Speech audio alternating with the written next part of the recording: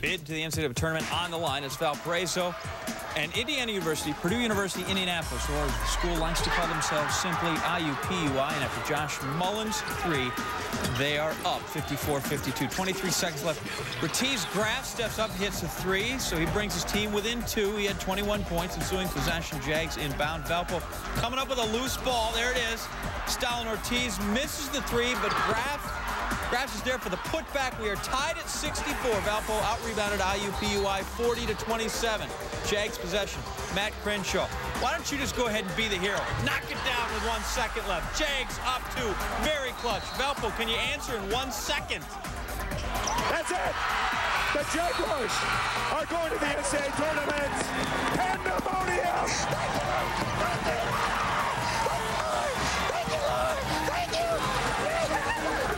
Coach Ron Hunter ecstatic. By far the best reaction to the championship so far.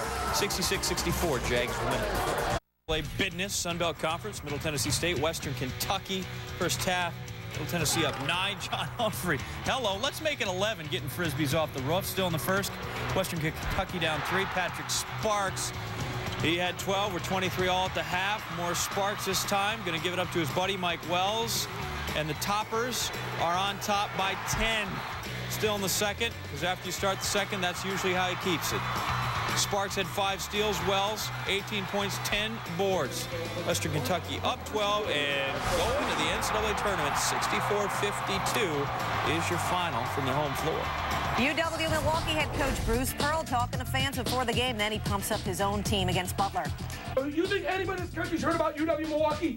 There's not a soul that heard about UW Milwaukee basketball. It's all about Butler basketball or Creighton or other teams. Let's go out and show the nation what UW Milwaukee basketball They don't kid around when it comes to the Horizon Championship. You know what I'm saying? Clay Tucker, 23 points for him. UW Milwaukee starts off on a 14-zip run. Tucker partially blocks the shot. We go in transition. The ball back to Tucker for the finish. Tucker, 18 of his 23 in the first half. And then second half, Tucker driving two-handed jam. A 69-52 final for Wisconsin-Milwaukee. Congratulations with your first ever tournament bid. So that's a dozen in and 53 still to come. IUPUI's first ever bid, avenging a loss to Valpo a year ago. Western Kentucky repeats in the Sun Belt. Nice to play on the home playground. And UW Milwaukee also in the NCAA field for the first time.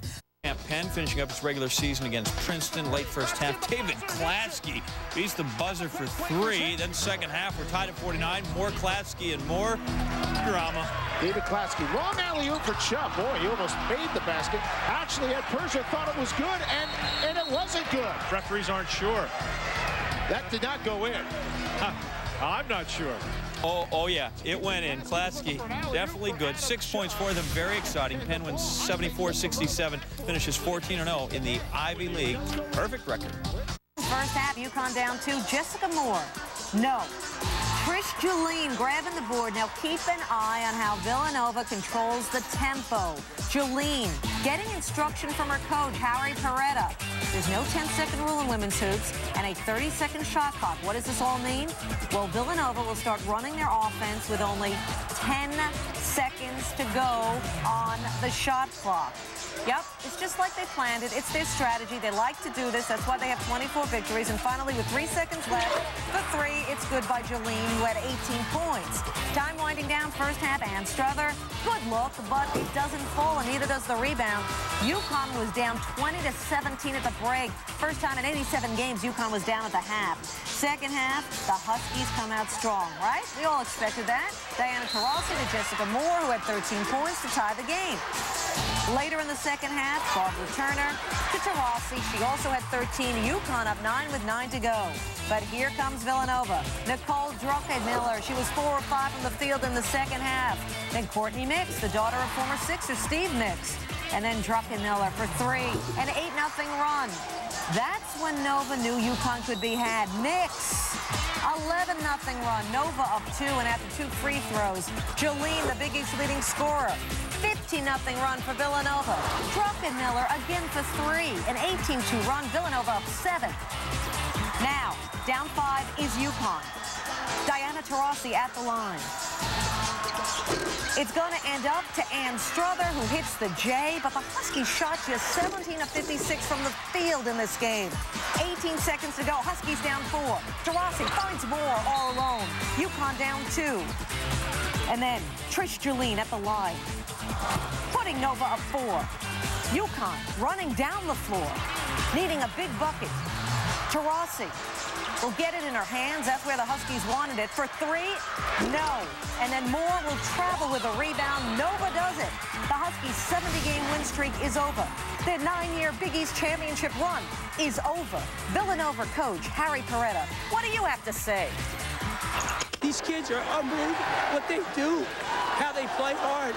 I'm amazed. I'm amazed. I mean, you know, we're outmatched a lot of positions, and they just got it. And they just play hard. That's all they do is keep trying. I'm so happy for them. I'm just happy for them. I'm gonna start from, start from scratch now. Um, last couple weeks haven't been all that well, and I think I think today it caught up with us. So I just gonna have to regroup and go from there. Now, overall, Geno Auriemma, the coach of the Huskies, took the loss well, except uh, with one particular reporter. Well, we can go one of two ways. You know, we can find out that you know, this loss just absolutely devastates them, and you know, we lose in the first round of the NCAA tournament, or we go back and kind of look in the mirror and say, not supposed to win every game. What are you going to do to make sure that doesn't happen? You know, you ask a lot of a lot of questions that really piss me off.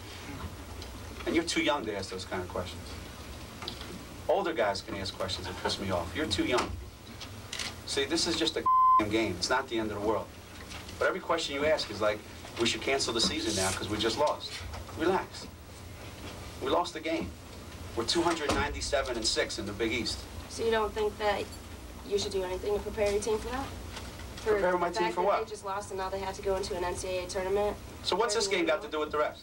We lost the game today. We just won 70 straight. Did that have anything to do with this one? But you have four freshmen that, that aren't used to it, and you have. I'm not worried about the freshmen. We got Diana Taurasi and, and, and Jessica Moore and, and Ashley Battle that weren't used to this. We got a whole team that's never played this much in the Big East tournament. So you don't. Do you think it should be on the captain's shoulders to try to help them, or do you? No, it's on my should try to shoulders. What am I going to do to help them? This is basketball. I can't go shoot the ball for him. You know, Geno, there's always the national championship to go for. Now with more insight, the two women who brought you the game on E ESPN2, Michelle Tafoya and Doris Burke. Thank you, Michelle and Doris. So the longest win streak in women's hoop history ends at 70. UConn ends up 18 wins shy of the men's mark of UCLA's record 88-game win streak. Remember, it was Digger Phelps' Notre Dame's Fighting Irish who snapped the Bruins streak back in 74. We'll have more on streak enders later. Big East tourney action, St. John's and Notre Dame. Marcus Hatten. St. John's, everything was going down. Johnny's by 21 and worth another look. Hatten going through three defenders, 18 points. Early second half, Kyle Cuffe with the hook shot. Danny Miller with the rebound. And then Hatten will knife in. The cat burglar, the Johnny's up by 23. But here come the Irish. Miller, who had 18. Irish cut the lead to seven. Over a minute left, Notre Dame by five. Matt Carroll, the pull up for three that touches nothing but the bottom of the net. He had 14. Irish down two. Same score. Chris Thomas down low. Torrin Francis, the rebound. The putback, he's fouled. He goes to the line. He missed the first free throw. The second one, Hatten gets the rebound and is fouled immediately.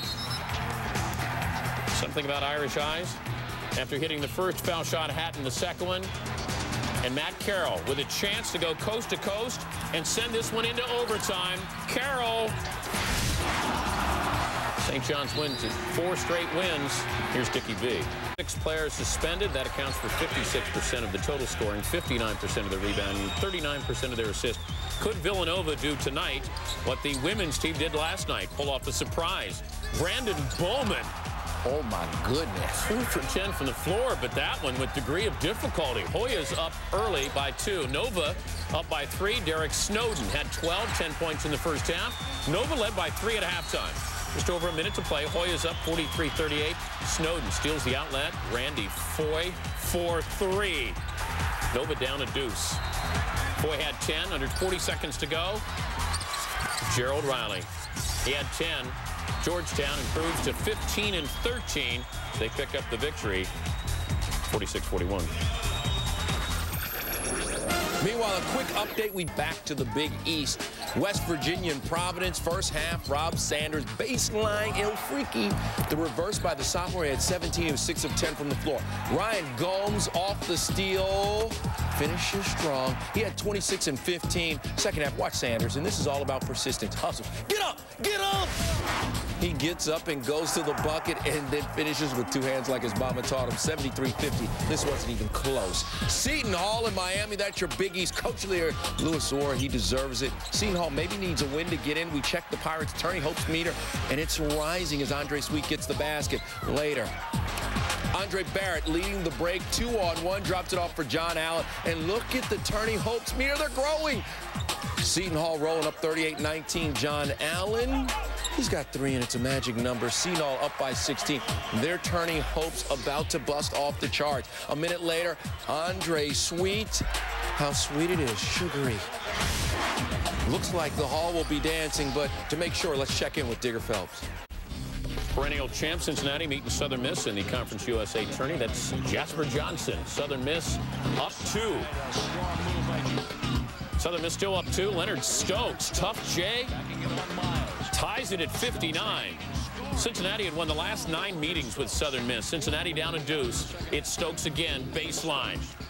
Getting the roll, and we're tied at 61. Next possession. The go-to guy, Jasper Johnson.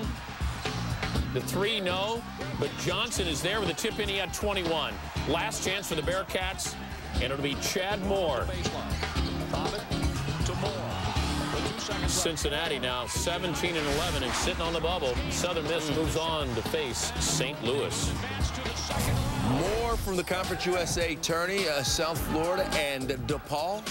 And the story here, Reggie Kohn came in averaging nine points. That's his 6-3. Beats the shot clock at the half. Seth Greenberg thinks it's the end of the half. No, Seth. No, dog. Uh -oh. The assistant's got to grab Seth when that happens. He left the coach's box. He gets teed up. He, of course, it's funny because his team was flowing, especially Mr. Kohn. Mama, did that man again. Kohn, 7 of 10 from the land of plenty. Seth digging the scene because his team wins. Northeast tourney, St. Francis ran into. What? Are you going to do that? I'm going to do the uh, Eastern Washington okay. Weber State game, the Big Sky Championship, and that's Chris Hester. And scream at him, kid. 28-27 at that point. Second half, under two minutes. Jermaine Boyette drives down the middle, the layup, the foul. It's 58-54. Seven seconds remain. Weber State up by three, going to the line, but a technical foul is called on the Weber State fans for throwing something on the floor. Alvin Snow misses the first one. So Weber State's Boyette now at the line. Team up by three. He can't make the free throw. Eastern Washington going the other way, looking for a little Stranger to send it in overtime.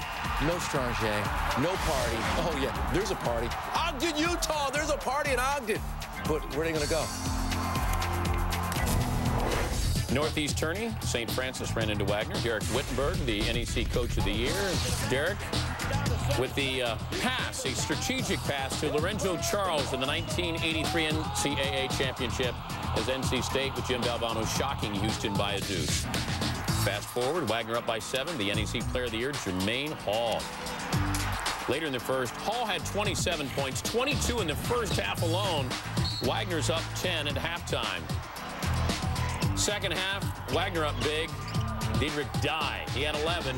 Wagner goes on to win it, gets the automatic bid, and let's start dancing. Whittenburg going back to the tournament for the first time in 20 years. Let's look at the automatic bidders. Two more teams clinch. Weber State and Wagner. Wagner joining UNC Asheville and Troy State as first-timers in the Big Dance. The last two times Weber State has reached the tournament, they've been a 14 seed and won each of their first-round games, the latest in upset of North Carolina back to the Conference USA tourney, UAB and Charlotte. First half, UAB down by four. Morris Finley from the land of plenty. He had 17 points late first half. UAB by a nickel. Eric Bush, and you got to stop the ball. If you don't stop the ball, your feelings get hurt. Bush off the glass. Blazers up 39-34. Bush with 21. Late second half, UAB rolling. Richard Jones, Willie go round in circles. And they will, the Blazers will face Marquette in the next round. Stay with Conference USA. Houston and Tulane. Marcus Kinzer with the steal, looking for Wayne Tinsley. Tulane up by 14 at halftime. Second half, Tulane up 12. Brandon Spahn from three. Four of seven from three-point range. Tulane by 15. Still in the second half, Tulane up big. Spahn with the steal. That's playing the passing lane, isn't it? Dribbling upstream. Spahn, 16 points. Tulane wins it, 74-52. Let's look at the brackets in Conference USA. Tulane, the only higher seed to win on Wednesday. South Florida advances to the quarters for the third straight year. South Florida, Southern Miss, UAB, all have a chance to win four games in four days to reach the NCAA tournament. St. Louis in 2000 uh, is the uh, last Conference USA team to win